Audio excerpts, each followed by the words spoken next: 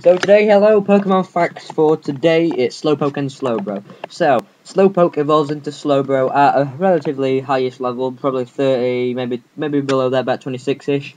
Um, evolves into Slowbro, right? And when it evolves into Slowbro, it does, it has a, um, Shellder attached to its tail. And since it's got Shellder attached to its tail, that means it's evolved, right? So that means it's the adult Pokemon, right? So, if it um, got the Shellder attached to its tail, then theoretically, if you remove the uh, Shellder, then it will de-evolve into Slowpoke.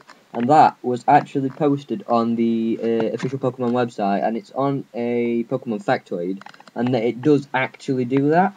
But obviously, you wouldn't be able to take it off in game anyway. So, thanks. I hope you've enjoyed. Comment, subscribe, rate.